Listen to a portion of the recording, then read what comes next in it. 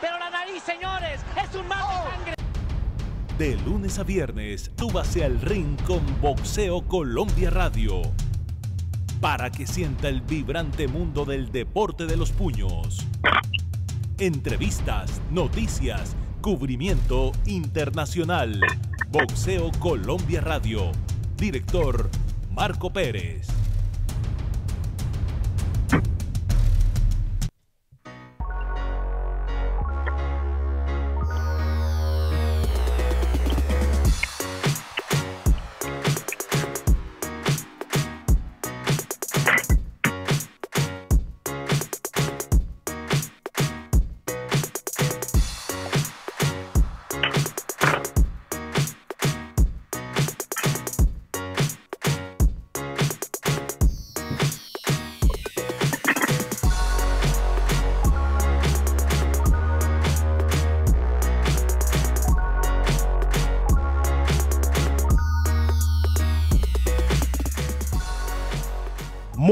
Buenas noches tengan todos. Bienvenidos a un programa más de Boxeo de Colombia Podcast. Usted está conectado hoy, aquí, hoy, 27 de marzo del 2019. Y estamos aquí para llevarle a usted en esta media hora a puro boxeo. Este programa está sintonizado en Facebook Live, en Boxeo de Colombia, nuestras redes sociales, en Facebook, en YouTube y en Twitter, Boxeo de Colombia, en Instagram, Boxeo de Colombia guion bajo. Hoy estamos también transmitiendo en vivo por nuestro Instagram en Boxeo de Colombia. Nuestra página web www.boxeodecolombia.com.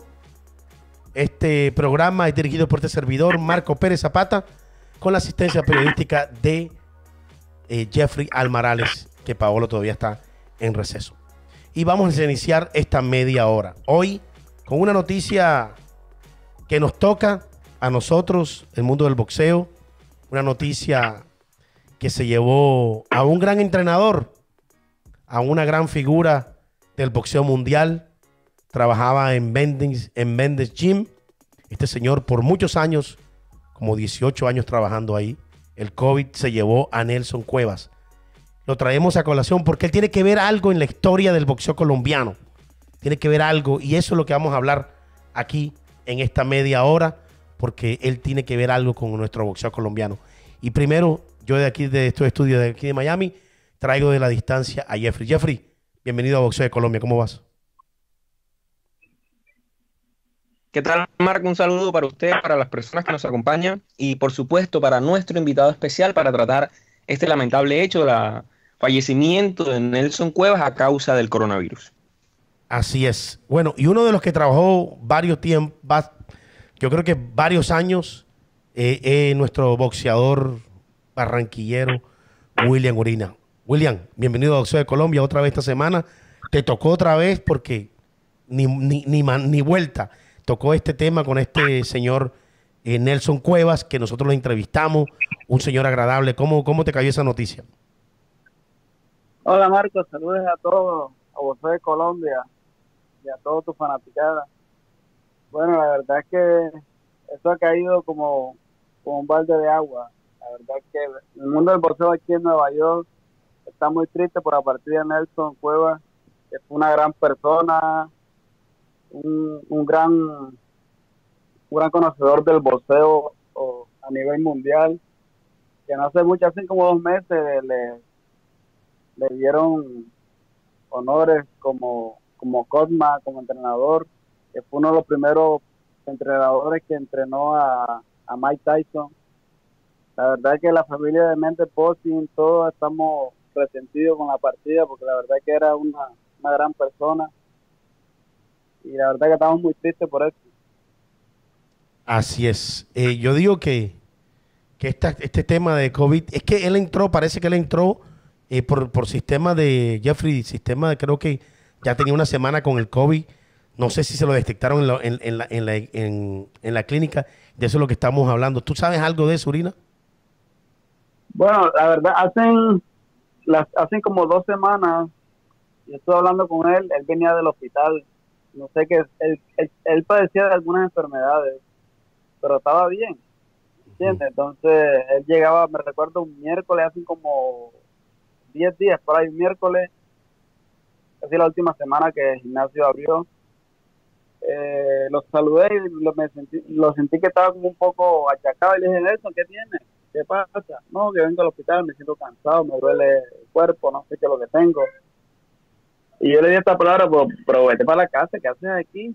¿Qué haces aquí? Si aquí no hay nada que hacer, mira, tú estás, solo aquí, porque no estás para la casa y descansa mejor. Y me dijo, ah, William, sí, voy a ir para la casa ahora, la verdad es que me siento, no me siento muy cómodo. Y desde ahí dejé de hablar con él, hasta ahora hace días que me, me enteré de que estaba en coma, supuestamente por el COVID, por el coronavirus, y la verdad eso me afectó mucho y y hoy que me enteré de la noticia de que falleció, que fue un, golpe bien duro, la verdad que, que, fue una de las personas que me apoyó cuando vine aquí a Nueva York y comencé a entrenar ahí en el gimnasio, a trabajar ahí, la verdad que siempre escuché sus consejos, su, experiencia como, como entrenador y como como involucrado en el boxeo, ¿me entiendes? La verdad es que cada día, todos los días hablaba con él y, y, siempre le decía viejito y siempre se llama a reír y siempre estábamos hablando y jodiendo la vida y la verdad es que eso nos deja un vacío bien grande. La verdad es que ahora el gimnasio ya no va a ser lo mismo. Ahora cuando todo esto pase, que lo abran, la verdad es que no va a ser lo mismo. Él, nos deja un vacío bien grande ahí. Jeffrey.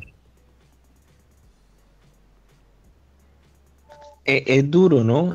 El testimonio que, que nos cuenta William, a quien saludo con las buenas noches, es complicado Hola, porque mire lo difícil que es. Hola William, mire, mire lo difícil que es. Uno ve a la persona y después se entera de que está en estado de coma y cuando es una, un virus que se propaga rápidamente como el coronavirus, ya uno no le permite verlo más. Es decir, sin saberlo fue una despedida. En ese momento William usted no lo sabía, pero ahora, ahora que se da cuenta de que esa fue la última vez, ¿qué piensa? ¿Qué pasa por su cabeza como ser humano?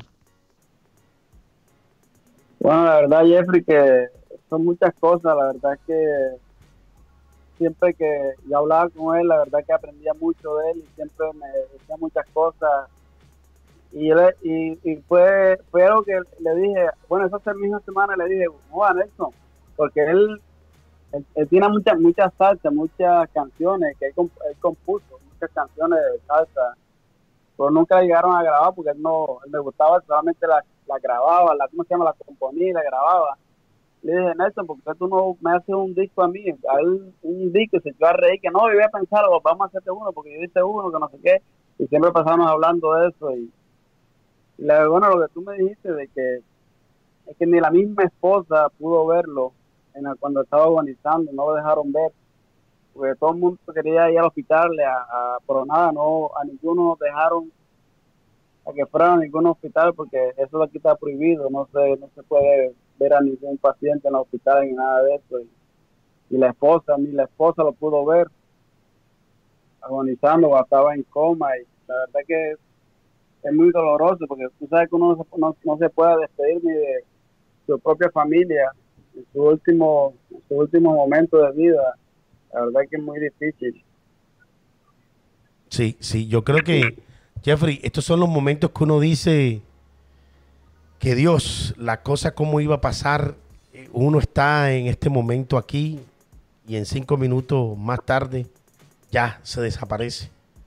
Eh, yo creo que uno no, es lo que es lo que yo creo que eh, Urina estaba dando a colación algo con el tema de que el gimnasio no iba a ser igual sin él. Yo creo que el mundo no va a ser igual después que salgamos de esto.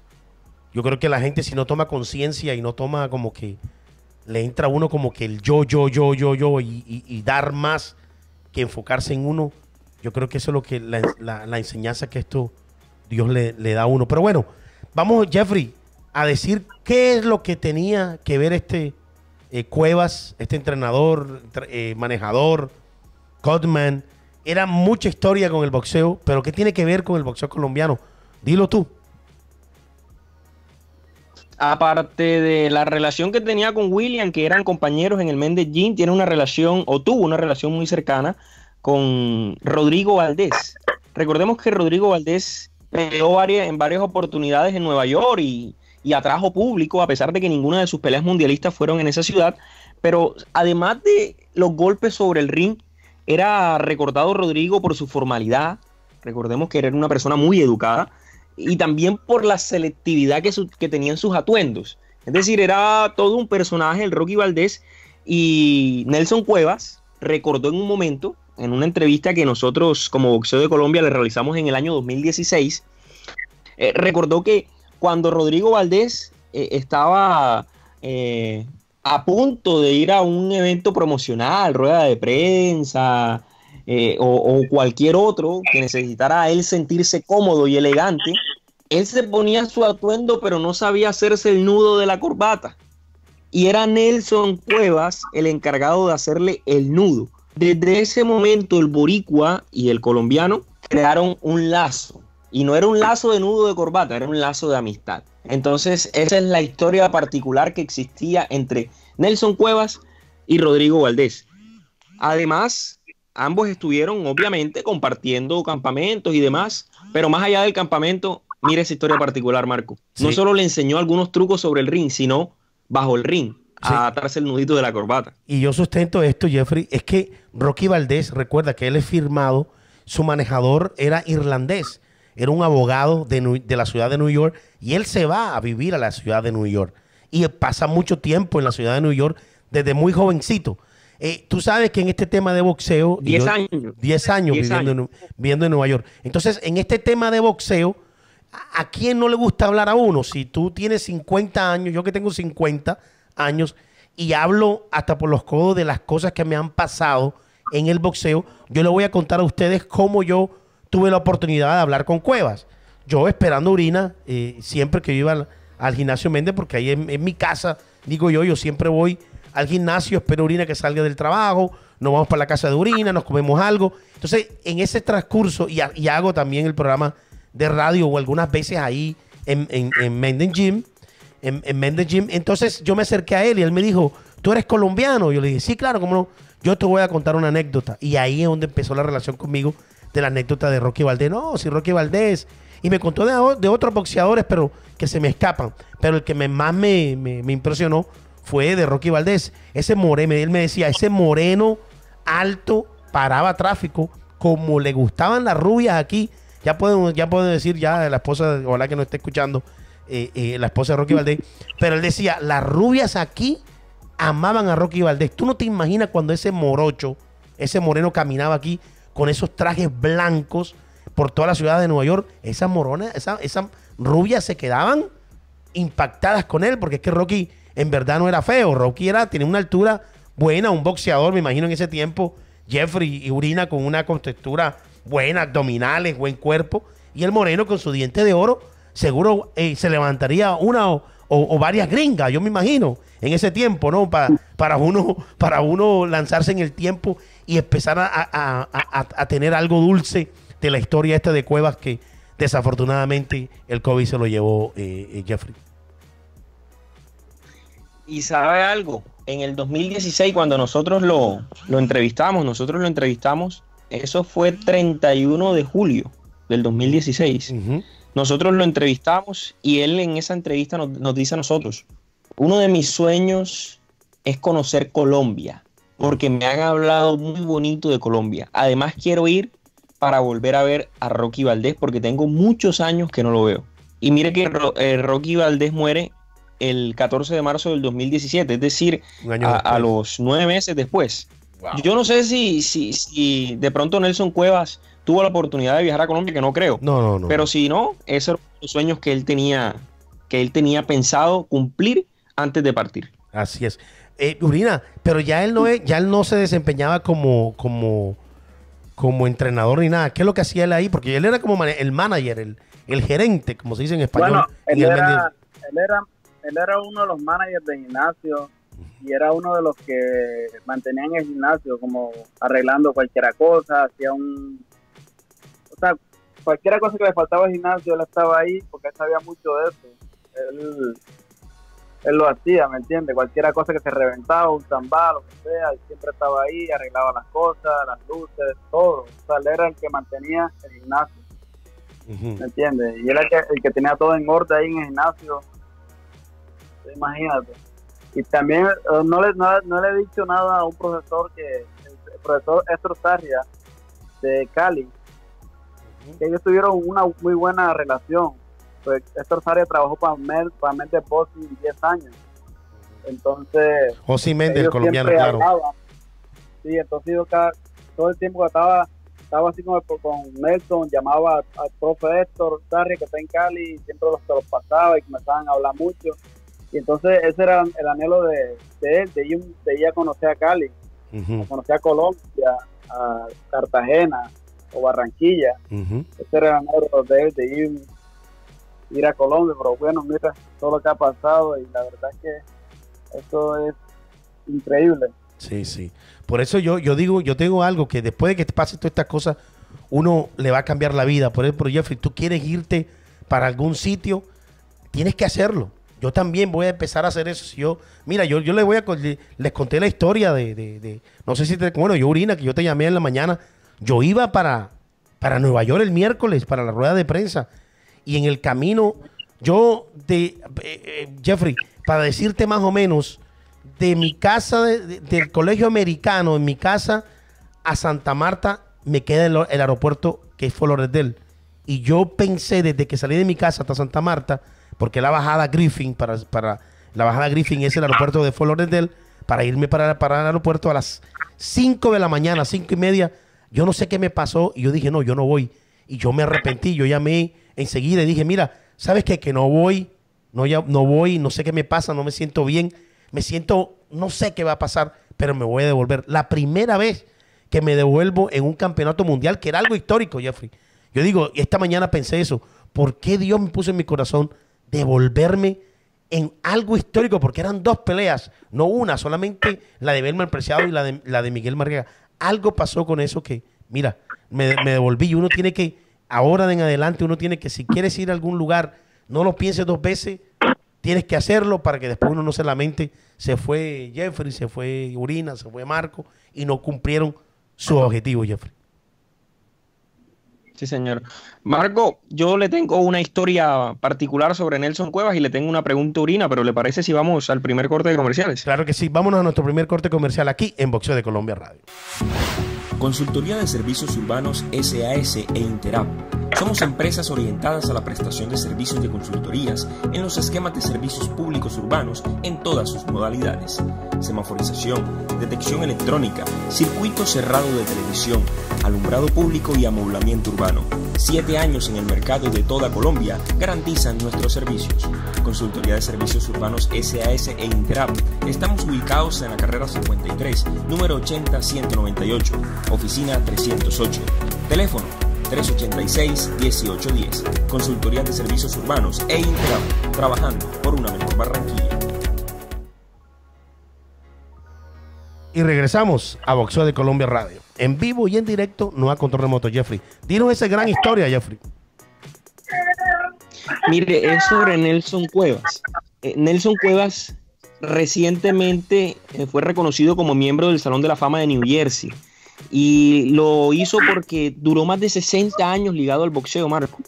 Él, en- si me equivoco en alguno de los nombres, por favor me corrige, yo sé que usted tiene más conocimiento que yo. Eh, comenzó de la mano de un entrenador legendario, Cus de Amato, y después de ese entonces eh, fue creciendo muy rápidamente y se desempeñó eh, como entrenador, como curador de heridas, como gerente.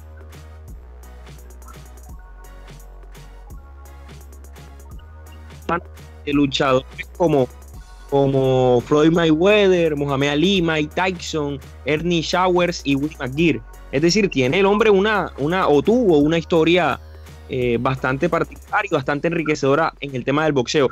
Le preguntaron en alguna entrevista, en algún momento, eh, por qué tantos años en el boxeo. Y su respuesta fue muy particular. Le dijo, mire, yo me convertí en hombre a los 11 años. Y Wow. estamos hablando de una transición de niñez a adulto. Y a- a los 11 años ya yo era un hombre. Wow. Entonces es bastante conmovedora la historia eh, de un entrenador, gerente, curador de heridas que tuvo que salir avante con sus propios métodos y desde muy niño. Ahora, la pregunta de Urina era esta. Eh, por ahí leí una entrevista que ha dado Juan Pablo Montoya, el corredor de NASCAR colombiano, que decían que los primeros días, cuando el coronavirus todavía no era considerado una pandemia, ellos salían a la calle de Miami con tapabocas, y esto también lo podría responder usted, Marco, primero Urina y después eh, usted. Y la gente decía, está loco el tipo, está loco, los trataban de locos cuando usaban eh, los tapabocas para protegerse cuando no era el coronavirus una pandemia. Y mire cómo está ahora. ¿Será, William, que la pandemia la agrandamos nosotros? Es decir, pudo haberse eh, minimizado comenzando este, este virus y que por el comportamiento humano de no prestar atención y no obedecer las órdenes, estamos como estamos. Bueno, sí, mira, yo creo que eso fue eso fue lo que ha causado tanta muerte y tanto infectado con ese virus, porque al principio la gente no, no prestó atención y, llegaron muchos viajes de Europa, de Italia, de Francia, de España. O sea, que, aquí, hay aquí en Nueva York hay mucha gente de Europa, entonces los viajes iban y venían, iban y venían y y ahora, como tú ves, mira, ahora Nueva York es la ciudad más infectada del mundo, más que China. Entonces, entonces la verdad que, esto, esto ha sido un caos. Aquí la gente no sale, aquí todo el mundo está encerrado. Aquí nadie quiere tocar nada, nadie, la gente anda asustada. sí, la, yo digo que, que eso, eso, es lo que tiene que ser en Colombia, tiene que cuidarse porque la gente no escucha, no, no, escucha ni nada. Es que la misma gente, la misma gente es la irresponsable, Urina. Yo creo que la, misma, gente, la misma ¿sabe algo, Marco? Dime. ¿Sabe algo? Nueva York es uno de los focos del coronavirus y yo le preguntaba a Urina porque es que él puede hablarme con propiedad de la capital eh, del mundo. Mire, Nueva York acumula 26.697 casos y de esos han muerto 450. Es decir, el tema allá en Nueva York está duro, es tenaz con el Pero mira, mira, Jeffrey, tú me acabas de decir que si lo trataban de loco, que si, que si eh, este corredor, Juan Pablo, eh, había dicho de que si lo trataban de, de loco cuando empezó la pandemia, cuando empezó el virus a producirse, no nos vamos muy lejos. Ayer yo tuve que salir, ojo, salir porque yo no salgo a ninguna parte yo voy en el carro con los, de, los huequitos de los aires acondicionados. Tú sabes que el aire acondicionado del carro te trae el aire que sale de afuera. Hay un botón que tú le hundes para que ese aire no entre a tu carro cuando hay olores feos en, alrededor de tu, de tu, donde vayas manejando. Y yo salgo con ese botón puesto desde mi casa con un tapabocas y con guantes y sudadera y todo, y con gorro y todo puesto. Yo dejo eh, eh, eh, a, mi esposa que se vaya a comprar lo que necesita porque yo tengo pánico de salir y ir a algún, supermercado. Yo me bajo distancia para recoger la, la, compra que ella trae. Ella también está protegida. Tenemos los guantes, ¿verdad? Con tapaboca y vienen tres señoritas con un bebé en manos, como riéndose de nosotros, que nosotros estamos como exagerando. Yo digo, wow. Yo me, tuve eh, las ganas de decirle algo. Ellos sin tapabocas, sin guante, sin nada. Y el bebé expuesto. Y yo digo, pero, pero señor, ¿será que no estamos locos? ¿O que no está pasando nada? Y yo quitándome los guantes con un palito, así que porque cogimos, cogimos una como especie de unos alicates, quitándonos los guantes para poder entrar al carro. Y cuando llegamos aquí, empezamos a tirar la isol, empezamos a tirar, lavarnos las manos, correcto. Entonces, a si uno dice, ¿qué, está para, qué estará pasando, muchachos? No, yo, el eh, Marco, eso, en todo el mundo está pasando eso, la gente no cree, porque no, lo, no, lo entiende, porque la gente cree que a ellos no les va a caer. Pero aquí estoy escuchando que el 80% del mundo va a tener coronavirus, el coronavirus. Sí, sí, sí. ¿Entiendes? El 80% de la gente va a tener eso, porque eso se va va a seguir y va a seguir. Si la gente no se sigue cuidando, eso va a seguir y va a seguir.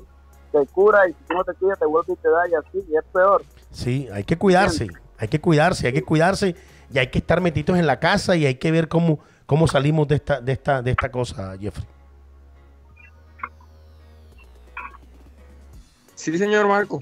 Sí, señor, entonces eh, ya esa es la, la, noticia, lamentamos el fallecimiento eh, de Nelson Cuevas, una gran persona del boxeo, que lo ponen incluso, eh, lo estoy leyendo en algunos artículos periodísticos y lo ponen, escuchen ustedes, no soy yo y no es boxeo de Colombia, alrededor del mundo artículos periodísticos lo ponen al nivel de personalidades del deporte eh, tales como Michael Jordan, tales como eh, Phil Jackson, como Kobe Bryant. Entonces estamos hablando de un hombre que por sus manos pasaron miles y miles, bueno, cientos, para pasó no, Mike Tyson. Para, no, para no entrar en la hipérbole de campeones mundiales. Pasó Mike Tyson. Figúrate tú. No, sí, imagínate. No, él era muy reconocido, todo el mundo lo quería. Todo el mundo que llegaba al gimnasio preguntaba por él de una vez. Ujú, ujú. No, no, no, no. Es impresionante, pues, impresionante, impresionante. Pero bueno, yo sé que vamos a salir de esto. Yo sé que el boxeo va a estar mejor.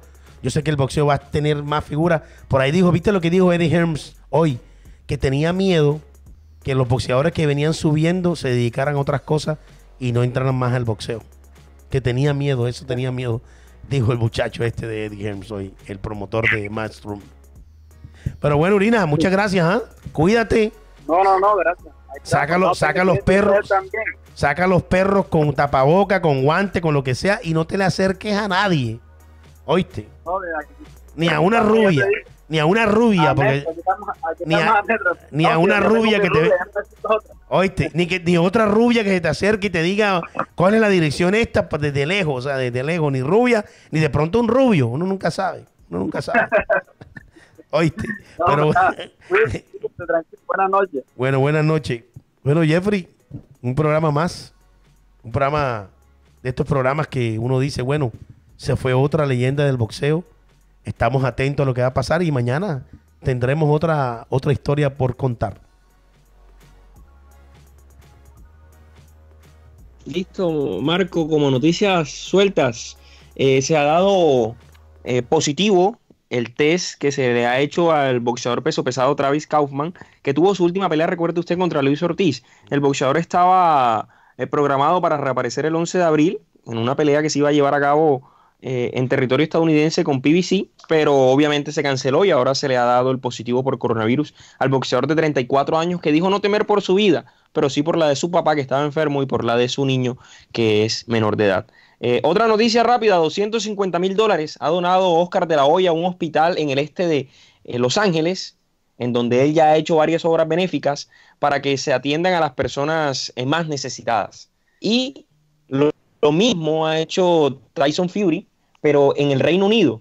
El Servicio Nacional del Reino Unido solo conforman médicos, profesionales de la salud y demás que trabajan día y noche contra este tema del coronavirus. Y Tyson Fury se enteró de que le estaban enviando muchos alimentos, escuche la particular historia, pero no tenían con qué pasarlo, es decir, no tenían bebidas. Entonces, con uno de sus patrocinadores, Tyson Fury donó eh, miles de bebidas, energizantes además, para Está que los médicos no solo pasaran sus alimentos, sino que también se mantuvieran pendientes. Con eso me despido, Marco. Nos reencontramos en una nueva ocasión en Boxeo de Colombia. Chao. Así es, Jeffrey. Muchas gracias. Feliz noche. Mañana, mañana nos vemos aquí a la misma hora. Pero bueno, se nos acabó el tiempo. Mañana otro programa más. Nuestras redes sociales en Facebook, en Twitter y en YouTube, Boxeo de Colombia. En Instagram, Boxeo de Colombia guion bajo y Boxeo de Colombia. Hoy que estamos en vivo. Desafortunadamente esta noticia. Mañana vamos a ver qué traemos, qué otra historia traemos. Pero día a día vamos a estar repasando qué campeonato mundial, alguna anécdota de boxeo de Colombia. Y, vamos a estar atentos. Cuídense, muchachos, cuídense. No salgan. Hay que quedarse en casa. Pedirle mucho a Dios por la vida de nosotros. Que nos perdone todos los pecados. Y estar limpio, estar tranquilo a ver qué va a pasar. ¿Ok? Nos fuimos. Chao, chao. Mañana nos vemos a esta misma hora. Nos fuimos. Chao.